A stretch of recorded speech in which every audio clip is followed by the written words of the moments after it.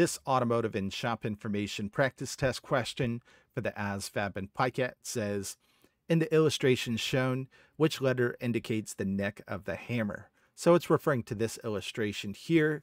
And so that you can know the parts of the hammer, I included this illustration down here as well. We can see that A right here is going to be the handle of the hammer.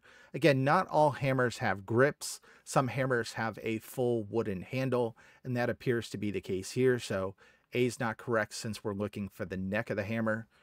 B, this part right here is called the cheek of a hammer, so B is not correct.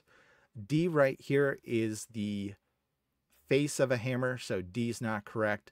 And this part right here that connects this claw with the face of the hammer is called the neck of the hammer. So we can see that the correct answer to this one is C.